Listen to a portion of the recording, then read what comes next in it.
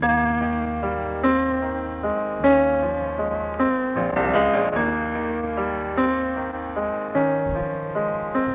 the beginning, the Earth was nothing more than a molten ball which orbited the Sun.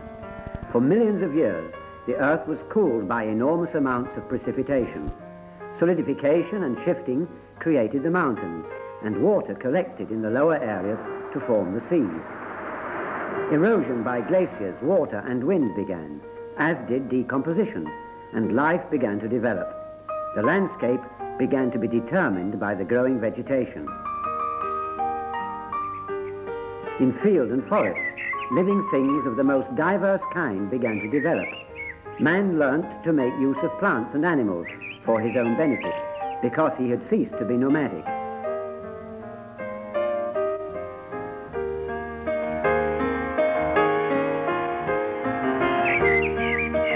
Wild animals became domesticated. Agriculture as we know it today was still a long way off. Without agricultural technology, this development was inconceivable.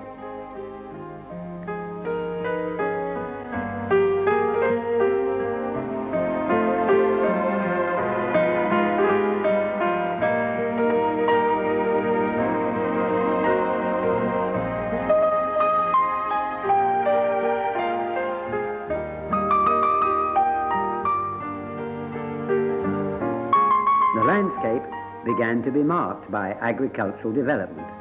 For many centuries, working the land meant sweat and toil.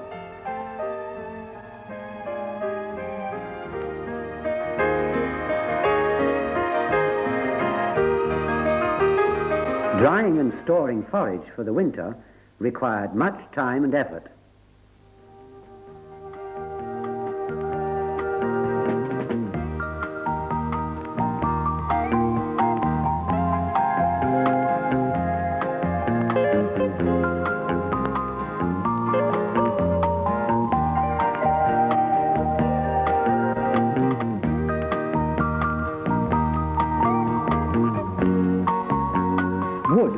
Far the most vital raw material, and in many areas its use as a fuel was of the greatest importance.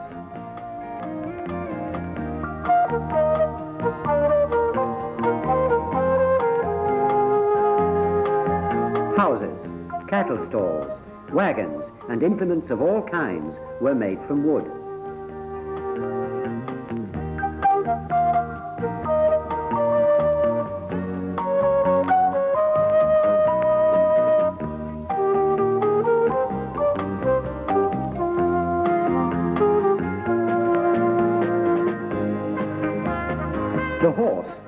Became an indispensable aid to the farmer and represented the most important pulling power for many centuries.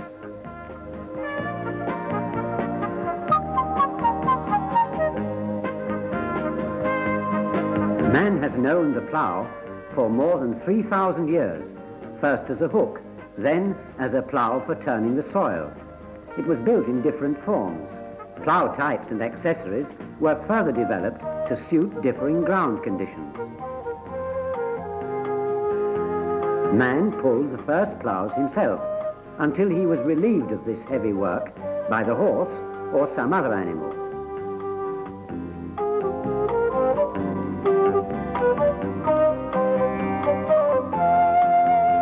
Of all the natural resources available to him, water was the first one to be harnessed by man.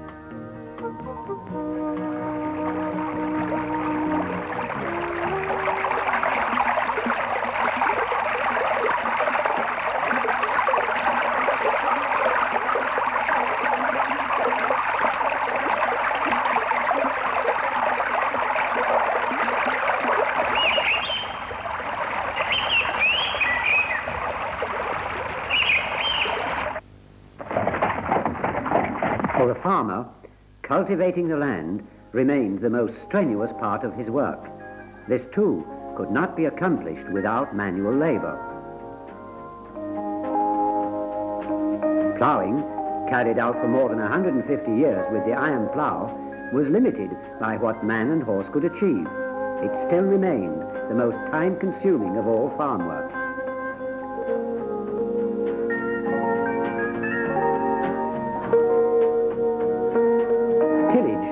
Characterized by the small working widths of the horse-drawn implements.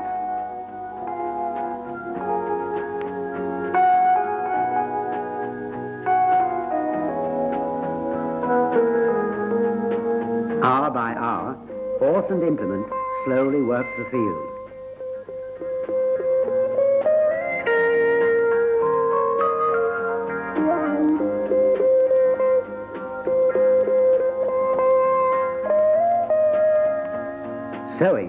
Now done by seed drill instead of by hand.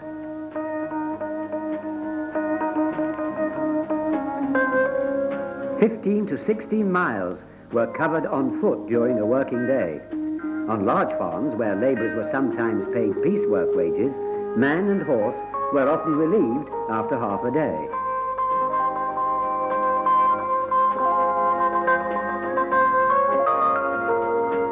Towards evening, the farmer's wife was tired.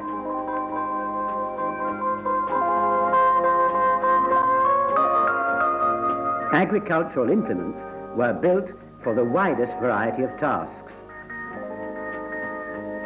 Until the middle of this century, fertilizer top dressing was often still applied by hand, even though manure spreaders had been available for a long time. In the spring, mounds were built to produce charcoal.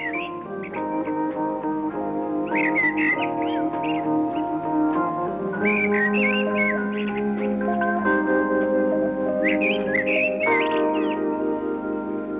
thousands of years, the harvest was gathered in by hand. The only tools were sickle and scythe.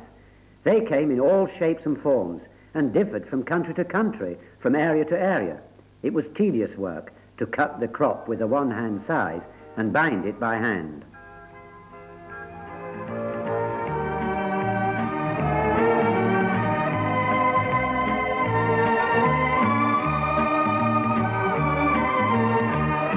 Gathering the crop with the rake and putting it up was always strenuous manual labor.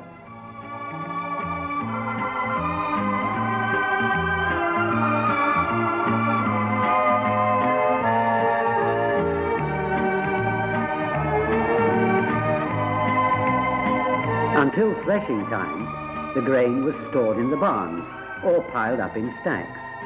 Only in winter did the farmer find time for threshing. For centuries, the capstan served as a simple drive for machines, at first made from wood, then later from iron. The capstan transferred the pulling movement of the horse into the turning movement of a drive shaft. The capstan freed man from dependence on water and wind power. Wind power was utilized mainly for grinding corn and pumping water. In 1769, James Watt invented the steam engine. A hundred years later, the first steam ploughs were moving in the fields. Names such as Fowler and Max Eyth were closely connected with this stage of developing mechanization. Pulled by two locomobiles of 150 horsepower each, the balance plow achieved a daily coverage of 35 acres. Coal consumption was 400 kilos per day, and 317 gallons of water were used per hour. In 1876, Nikolaus August Otto blazed the trail with his invention of the four-stroke engine. However, it was to be many decades before a well-tried engine would be used in agriculture on a wide basis. Now, machines for harvesting underwent a faster development. The first one, a horse-drawn grass mower, appeared in 1860 and made mowing dramatically more efficient than with a scythe. It was also used for cutting grain.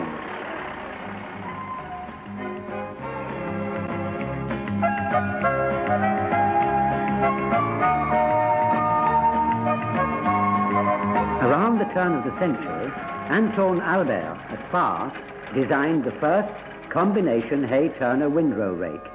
This introduced swathing into agriculture, a procedure which still determines the design of many agricultural machines today.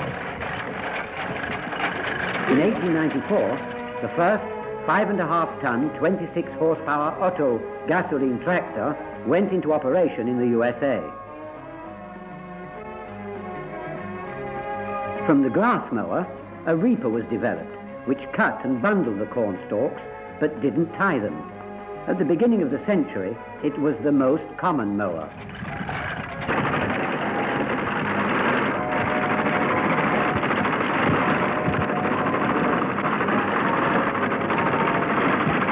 The sheaves were tied by the busy hands of women and children.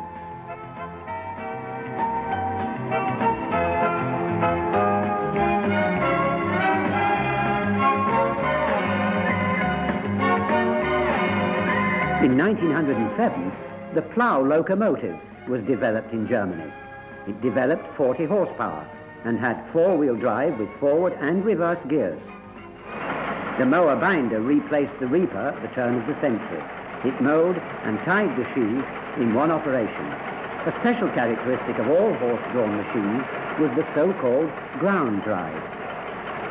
Here was a further attempt to replace the power of horses. Now appeared the 3-ton, 25-horsepower automobile plough, using 52 gallons of fuel in 10 hours. Agriculture continued to be full of romanticism. The wedding, a festival for the entire village, began with the arrival of the bridal carriage. The movable trousseau, arranged on the wagon and decorated with flowers and ribbons, was taken to the farm, the new home of the bride. This tradition still survives. The first tractors, even with cabs, appeared on the agricultural scene in 1920. The diesel engine for tractors was first seen in Germany in 1924. Getting the MTH going in cold weather was hard work and sometimes not without danger. The MTH developed 14 horsepower, was cooled by an evaporator and had roller chain connection to the gears. This tractor was used not so much for pulling, but rather as a mobile unit to drive threshers, saws and other machines.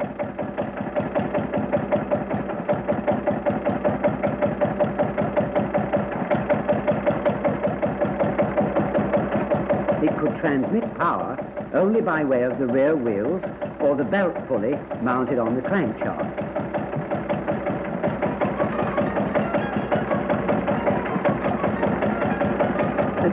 1920s, two divergent trends of development in tractor design became noticeable. In 1929, tractors with permanently attached implements appeared. Only used for mowing, these could be considered to have been the first self-propelled working implements in agriculture. Other manufacturers produced tractors strictly of the pull type. The MTZ 120 had an engine output of 27 horsepower. Fuses were inserted into the combustion chamber as a starting aid. And then the cranking began.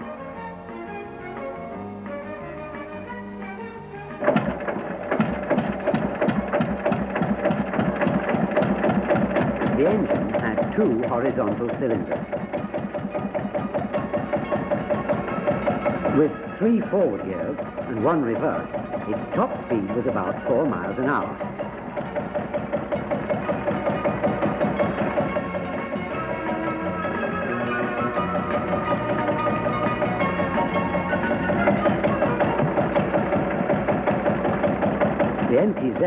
Was very popular for threshing because of its smoothly running engine. The MTZ tractor began to replace the locomobile.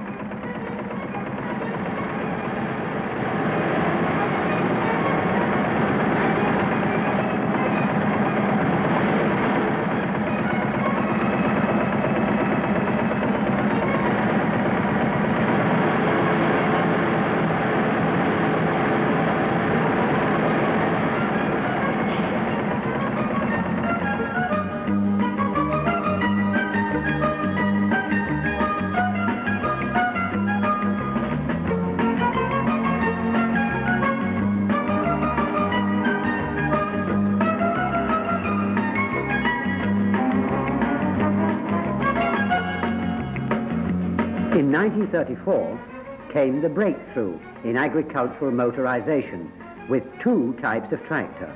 Deutz supplied the F2M 28 horsepower steel tractor.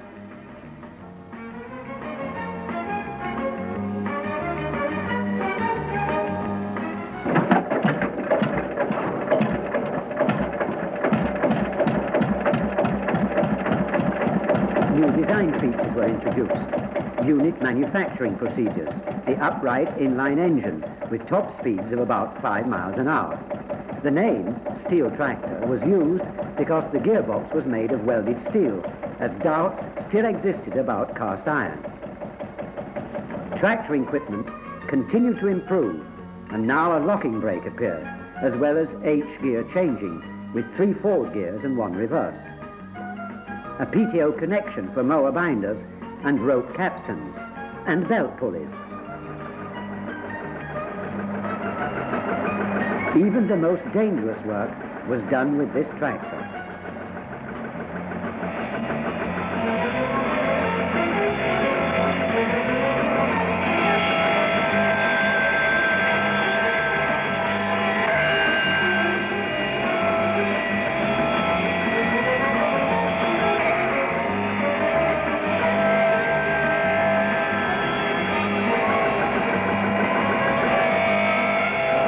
Second tractor model was the Lanz Bulldog. It had 32 horsepower and weighed 3 tons. Its hot bulb was started up with a heating lamp. This took 3 to 4 minutes.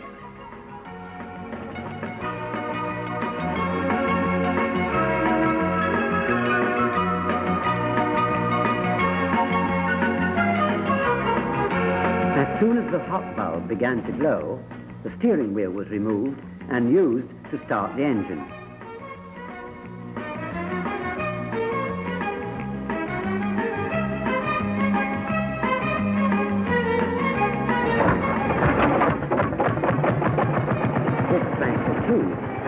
Gears, power takeoff and belt pulley.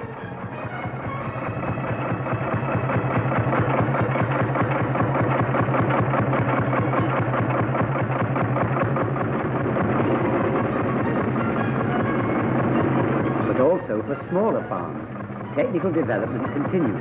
Thus, in 1936, the first 11 horsepower farmer's tractor appeared. At times, it was simply put in front of implements intended to be drawn by horses. Here, once again, were further advances. The mower mounted next to the belt pulley in the PTO and air-filled tyres. This, the first small tractor in the world, outsold all others of its time.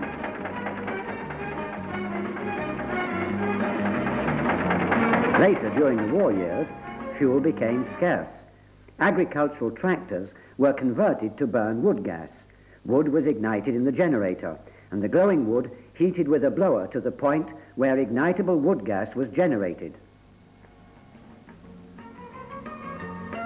Then the tractor was ready to start work. After a relatively short time, hollows developed in the generator, and the wood had to be compacted with a rod. This provided an opportunity to refuel.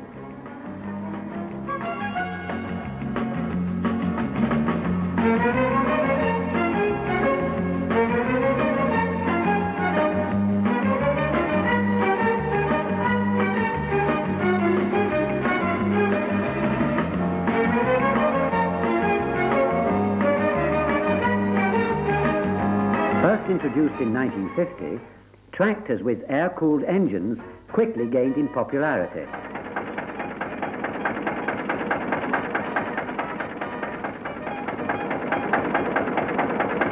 This Deutz 15 tractor was the basis for a whole series of tractors, all with air-cooled engines, built around a single air-cooled engine series.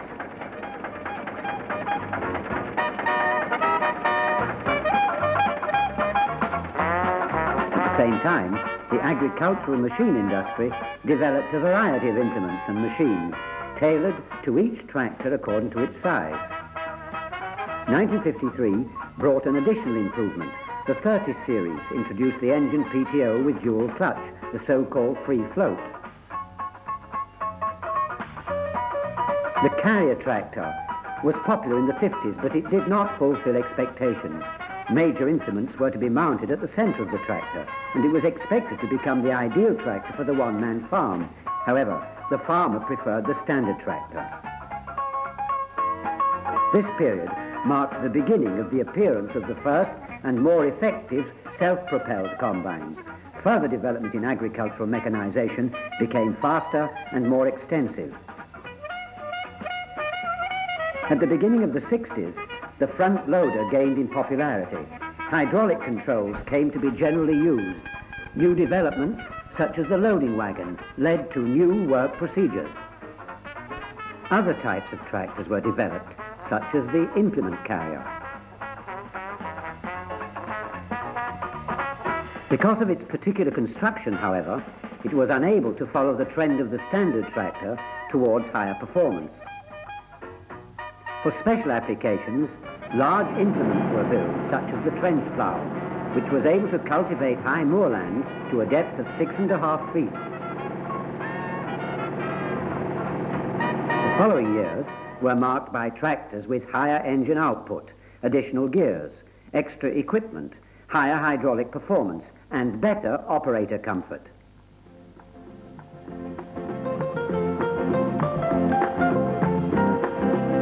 Comfort was also demanded in the 70s. Tractors with integral cabs were developed. Engine power now exceeded 100 horsepower, and all-wheel drive moved to the forefront. Agricultural technology progressed further, and new tractor concepts appeared on the market. Intrac, a new generation of tractors.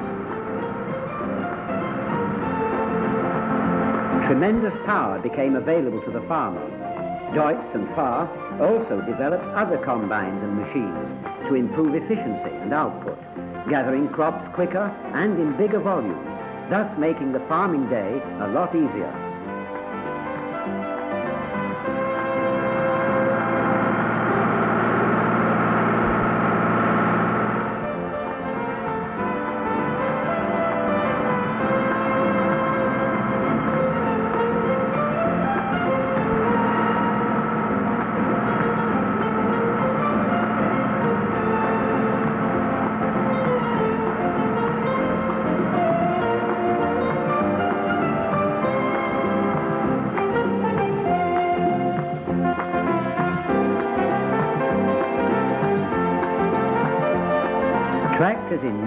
Styling, comfortable uncluttered cab, excellent pulling power and PTO shaft performance with low noise emission levels and economy in operation.